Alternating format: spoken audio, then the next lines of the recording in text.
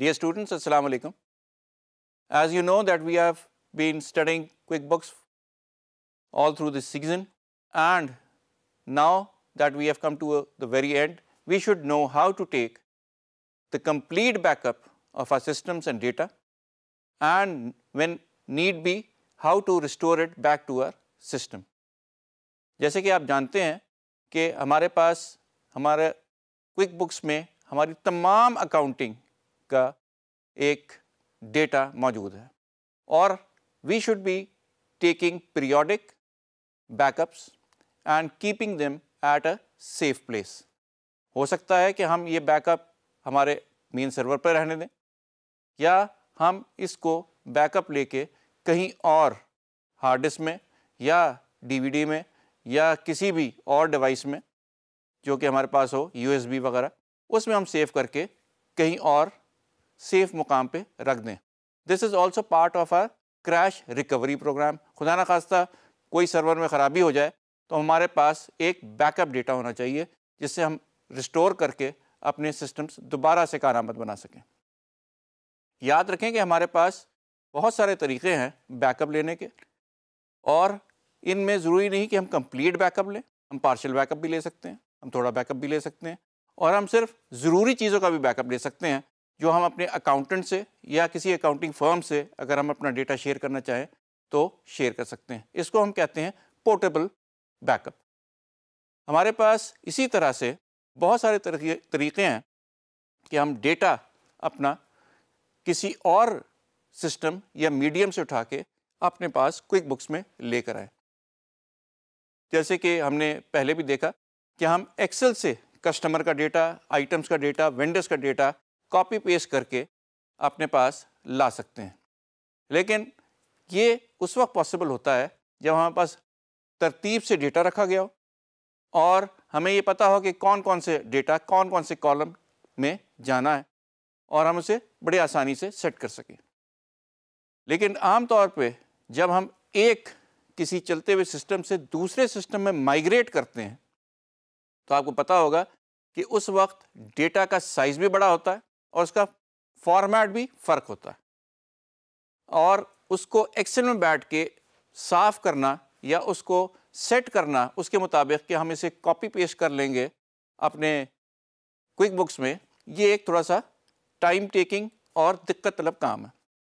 इसलिए हम कोशिश ये करते हैं कि हम अपना सिस्टम पूरा का पूरा एक्सेल में ला के पूरा डेटा किसी और भी सिस्टम का, हम इसके इंपोर्ट फ़ंक्शन के थ्रू वो सारा का सारा डेटा अपने पास खींच लें और जब हम इम्पोर्ट फ़ंक्शन इसका इन्वोक करते हैं तो हमें ये पता चलता है कि वो हमें एक मैपिंग की सहूलत देता है कि आप मैप कर लें क्विक बुक्स की फील्ड्स और वो तमाम फील्ड्स जो आपके पास एक्सेल में मौजूद है। और होता भी यही है कि वो डेटा काफ़ी बड़ा और उसमें फील्ड्स भी बहुत सारी होती हैं। और हमें ये पता होना चाहिए कि कौन सी फ़ील्ड हमारी क्विक बुक्स की कौन सी फ़ील्ड को कॉरस्पॉन्ड कर रही है? ये सारी मैपिंग आप एक दफ़ा करके उस सिस्टम को बता देंगे तो आपका डेटा जो सी एस डिलिमिटेड भी हो सकता है एक्सेल फॉर्मेट में भी हो सकता है, या किसी और ऐसे फॉर्म में भी हो सकता है, जो क्विक बुक्स खुद ब खुद ही उठा लेगा। तो ये हम बसानी पूरा का पूरा डेटा ट्रांसफॉर्म कर देंगे दूसरे सिस्टम का डेटा अपने क्विक बुक्स के अंदर। ये सबसे आसान तरीका होता है to migrate from one system to another and in this case जो दूसरा सिस्टम होगा वो क्विक बुक्स होगा। आप कोई भी डेटा पकड़ें फील्डें मैप करवाएँ और सारा डेटा इंपोर्ट करके अपना क्विक बुक्स के अंदर ले जाएँ। ड्रॉप एंड ड्रैग का तरीका आप पहली दे, देख चुके हैं। ये जो थोड़ा सा एडवांस तरीका है वो हम आज डिस्कस भी करेंगे और देखेंगे भी। और ये भी देखेंगे कि किस तरह से हम बैकअप ले सकते हैं। और इस बैकअप को हम रिस्टोर कैसे कर सकते हैं? याद रहे कि बैकअप लेने की स्ट्रैटेजी, ये आपका आईटी डिपार्टमेंट डिटरमिन करता है कि डेली बैकअप लेना है हमने वीकली बैकअप लेना है, या वंस अ मंथ लेना है और इस बैकअप को कहाँ रखना है? क्या उसी प्रेमिस पे रखना है? कहीं और रखना है? या ऑनलाइन क्लाउड पे कहीं इसको हमने स्टोर कर देना है? ये सारी पॉलिसीज़ बेसिकली आपका बिज़नेस कंटिन्यूटी मॉडल डिस्क्राइब करती है कि आपका सिस्टम जो है, वो किसी भी ख़राबी या क्रैश होने की सूरत में आपका बिज़नेस चलता रहे और जैसे ही आपको कोई सर्वर नया मिले, आप ये सारा डेटा उस पर रिस्टोर करवा के दोबारा से इस काबिल हो जाए कि आपका सिस्टम सारा चल पड़े। आइए इस तरीक़ेकार को कि बैकअप कैसे लिया जा सकता है और उसको रिस्टोर कैसे करते हैं और इंपोर्ट और एक्सपोर्ट हम किस तरीके से कर सकते हैं? फ्रॉम एक्सेल वो हम देखते हैं अपने क्विक बुक्स के ऊपर। जैसे कि आप देख सकते हैं कि होम पेज पे हमारा सारी इन्फॉर्मेशन मौजूद है और हम जाते हैं फ़ाइल पे। यूटिलिटीज़ में हम इंपोर्ट कर रहे हैं एक्सेल फ़ाइल वो कह रहा है कि आपके लिए बहुत आसानी होगी कि अगर आप एक्सेल फ़ाइल में से डेटा उठा के कॉपी पेस्ट कर लें, लेकिन हम इसे एडवांस फीचर में देखना चाह रहे हैं। जैसे ही हमने कहा कि हम एक्सेल फ़ाइल इंपोर्ट करना चाह रहे हैं तो वो हमसे ये पूछ रहा है कि कस्टमर्स के बारे में है वेंडर्स के बारे में है, या प्रोडक्ट्स आई सेल यानी आइटम्स हैं वेंडर्स डेटा है, या कस्टमर्स डेटा है? इसे हम थोड़ा सा और आगे लेके चलते हैं। हम कहते हैं हम एडवांस्ड इनपुट कर रहे हैं। फ़ाइल का नाम हमने रखा है सैंपल अब हम यहाँ इसकी मैपिंग करेंगे। ये हमसे पूछ रहा है कि इस फ़ाइल की कौन सी शीट में आपका डेटा है? हमारा शीट वन में डेटा अब जिसके साथ हम इसकी मैपिंग करना चाह रहे हैं, वो है कस्टमर और यही हमारे पास लिखा हुआ आ रहा है कि आप ये बताइए कि किस लिस्ट में इसको आप इंपोर्ट करना चाह रहे हैं। तो हम कस्टमर लिस्ट में इंपोर्ट करना चाह रहे हैं। जैसे ही आप कस्टमर लिस्ट का नाम देंगे तो आपके सामने कस्टमर लिस्ट के तमाम एट्रीब्यूट्स लिस्टेड हो जाएँगे। अब हमने इंपोर्ट डेटा से बताना है कि हमने वो डेटा जो उठाना है, वो यहाँ कौन कौन सा लेके आना है। नाम में हमने डालना है नेम। ये जो डेटा होगा वो सामने लिस्टेड होगा। इसलिए आप परेशान बिल्कुल ना हो कि हमारे पास जो नेम है, वो लिस्टेड है। इसके अलावा उसका फ़ोन नंबर, ये फ़ोन नंबर है। इसके सामने आपने फ़ोन चूज़ करना है और बिलिंग एड्रेस के सामने आपने उसका एड्रेस चूज़ करना है। तो अब आपने ये देख लिया कि हमने एक लिस्ट बनाई थी, क्योंकि वो बड़ी सिंपल लिस्ट थी। हो सकता है कि आपके पास जो डेटा हो बहुत कॉम्प्लिकेटेड और उसमें बहुत सारी फील्ड्स हों। और हम सारी की सारी फील्ड्स को मैप नहीं करवाना चाह रहे और ना हो सकती हैं। हम सिर्फ़ वो फील्ड्स मैप करवाना चाह रहे हैं जिसकी हमें ज़रूरत है। जब हम अपनी एक्सेल की फ़ाइल चूज़ करने के बाद उसको ये बता देते हैं कि इस फ़ाइल की इस शीट से तुमने डेटा उठाना है और ये लेके जाना है तुमने कस्टमर लिस्ट के अंदर तो वो आपके सामने आपको मैप करने की फैसिलिटी देता है। क्योंकि हमने लिस्ट उठाई थी, इसलिए कस्टमर के तमाम फील्ड्स यहाँ लिस्टेड हैं और उनके अगेंस्ट आपके पास ये ड्रॉप डाउन मौजूद है, जिसमें आपकी एक्सेल फ़ाइल के वो तमाम फील्ड्स लिस्टेड हैं। क्योंकि हमने ये डमी एक सैंपल छोटी सी बनाई हुई है, लेकिन आपको पता होगा, जब हम किसी दूसरे सिस्टम से डेटा लेके आ रहे होते हैं तो उसमें बहुत ज़्यादा डेटा और फील्ड्स होती हैं। और पहले भी मैं आपको बता चुका हूँ कि एक्सेल में बैठ के उनकी सफ़ाई करना, उनको डिलीट करना, उनको सेट करना एक थोड़ा मुश्किल काम है। लेकिन यहाँ गैर ज़रूरी फ़ील्ड ऑटोमेटिकली एलिमिनेट हो जाएँगे। जो ज़रूरी फ़ील्ड हैं वो ऑटोमेटिकली मैच या मैप कर दिए जाएँगे। जब आपने तमाम चीज़ें मैप कर ली तो आपने इसको सेव करना है। ये आपको एक प्रिव्यू भी दिखाएगा, जिसमें तमाम फ़ील्ड जो आपने सेट की थी, जो आपने मैप कराई थी वो डेटा के साथ आपको क्लियरली अपनी स्क्रीन पे नज़र आ जाएगी। तो अब ये जो पोर्ट का फीचर है एडवांस्ड वो आपकी बहुत सारी मुश्किल जो डेटा ट्रांसफ़र में हमें पेश आया करती थी, क्योंकि हमें बाद दफ़ा डमी फ़ील्ड बनाने पड़ते थे, बाद दफ़ा कुछ डिलीट करना पड़ता था, बाद दफ़ा मैप करने के लिए सफ़ाई बहुत ज़्यादा करनी पड़ती थी, वो सारी मुश्किल इसके बिल्ट इन यूटिलिटी ने पूरी कर दी है। आपको कुछ भी नहीं करना डेटा दूसरे सिस्टम को एक्सेल में लाना है उस डेटा की फील्ड्स को अपने फ़ील्ड के साथ मैप करवाना है, उसका प्रीव्यू देखना है और ओके दबाना है और आपका डेटा दूसरे सिस्टम से उठ के सारा का सारा आपकी क्विक बुक्स में आ जाएगा। यही हम करते हैं इसे। तो हमने ओके किया और हमारे पास इंपोर्ट का बटन आ गया है।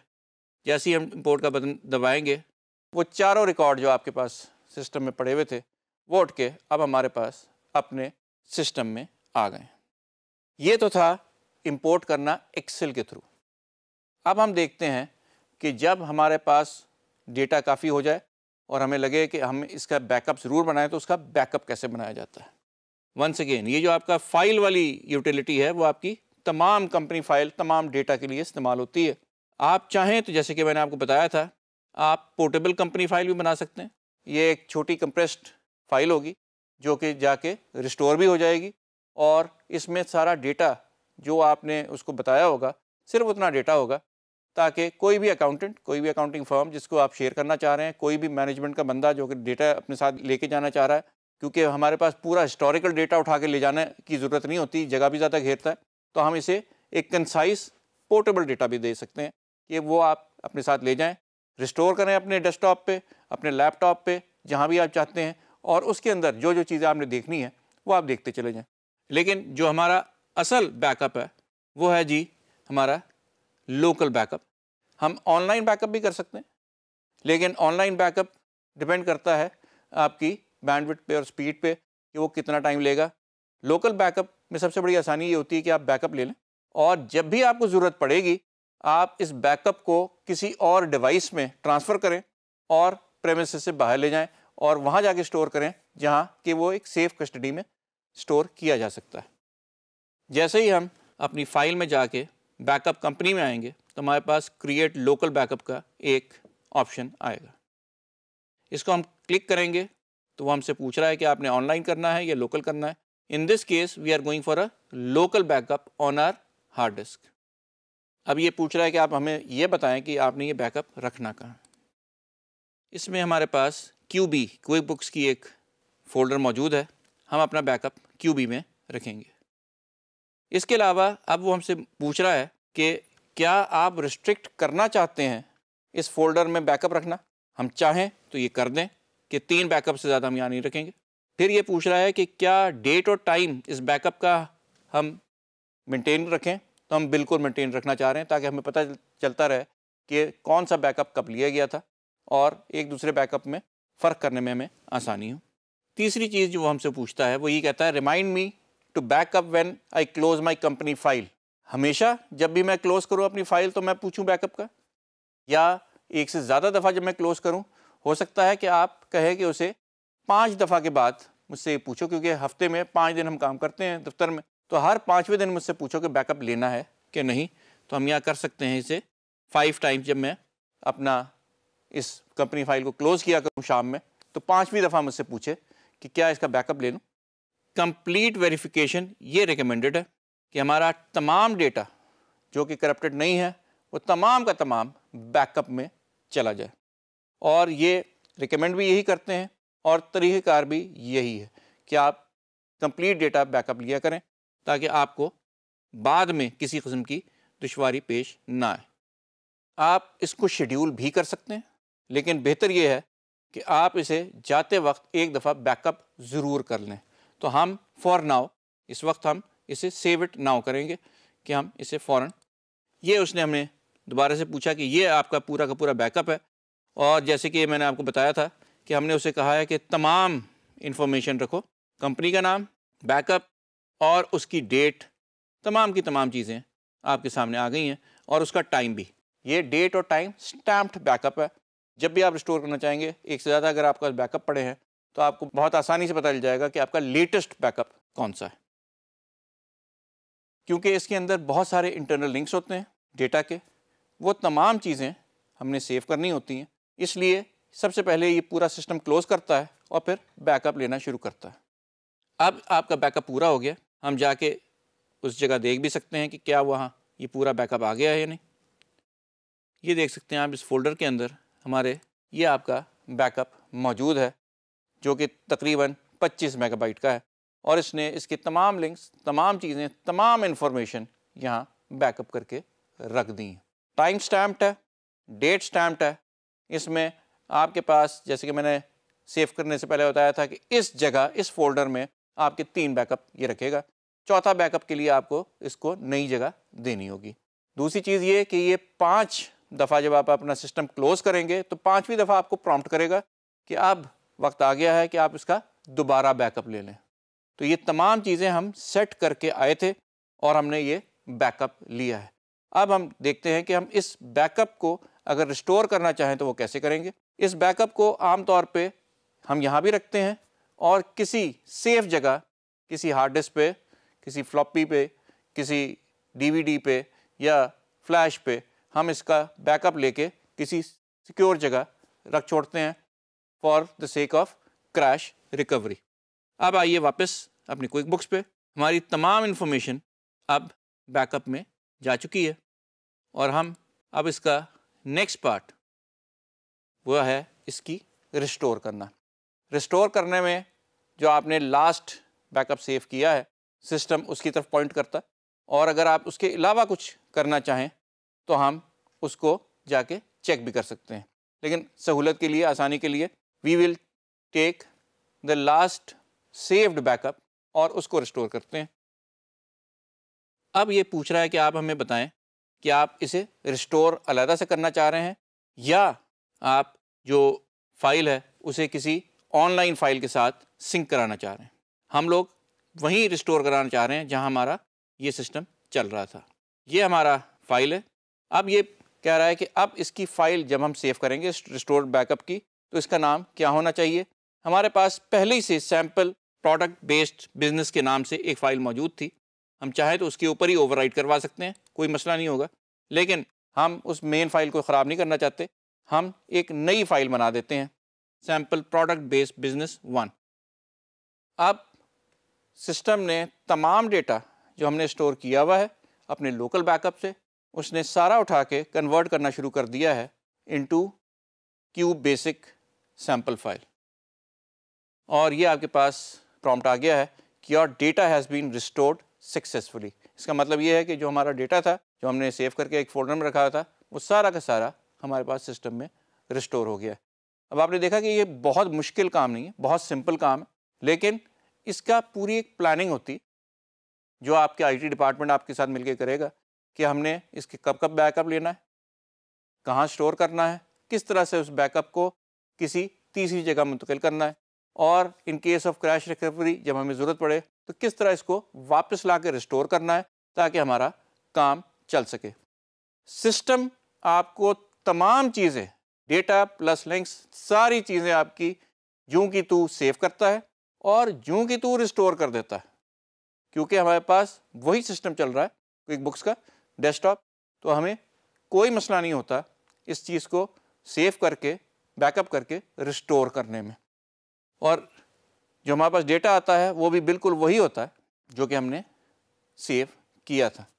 इस पूरे सिनेरियो में हमने ये भी देख लिया कि किस तरीके से हम अपना डेटा जो कि हमारे किसी बड़ी फ़ाइल में पड़ा हो एक्सेल में, उसमें से मैप करके एज पर रिक्वायरमेंट उठा सकते हैं। और ये कब ज़रूरत पड़ती है, वो भी आपको पता चल गया है कि जब भी हम किसी एक सिस्टम से दूसरे सिस्टम में कन्वर्ट होते हैं तो हमें डेटा इंपोर्ट की सबसे बड़ी फैसिलिटी चाहिए होती है कि हमारे वेंडर का डेटा, हमारे कस्टमर्स का डेटा, हमारे एम्प्लॉयज़ का डेटा, हमारी इन्वेंट्री का डेटा, ये सारा का सारा डेटा आ जाए। और उसको लाने में सबसे जो कंपनियाँ मदद करती हैं, वो ये करती हैं कि आपका डेटा एक्सेल में एक्सपोर्ट कर देती हैं। और वो एक्सपेक्ट करती हैं कि आपका नया सिस्टम एक्सेल से इंपोर्ट कर लेगा। तो क्विक बुक्स तमाम डेटा जो एक्सेल में है वो इंपोर्ट कर सकता है और मैप कराना आपका काम है।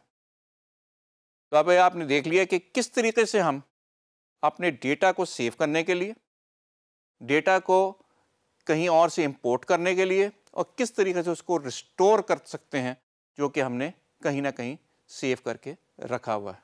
सो so, टू कंक्लूड हमारे पास क्विक बुक्स हर किस्म की फैसिलिटी यूज़र को फराहम कर रहा है कि वो कहीं से भी डेटा बसानी इंपोर्ट कर ले क्विक बुक्स के अंदर यूटिलिटीज़ मौजूद हैं उसके अंदर। वो बसानी अपना डेटा एक पोर्टेबल फ़ाइल में बन डंप कर दे ताकि कोई भी शख्स उसको इस्तेमाल कर सके इस एवरेज डेटा को और मेन रिपोर्ट्स जो वो देखना चाहे, वो देख सके।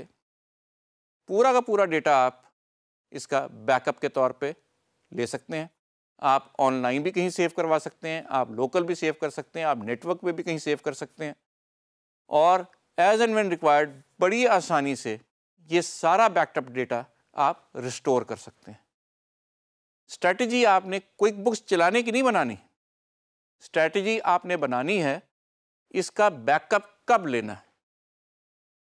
इस स्ट्रेटजी का ताल्लुक आपकी कंपनी रिक्वायरमेंट से है rather than QuickBooks QuickBooks तो आपको ये सारी फैसिलिटीज़ दे रहा है तो now we know how to make a backup restore a backup and use and use Excel as a data repository, which can be imported into our QuickBooks.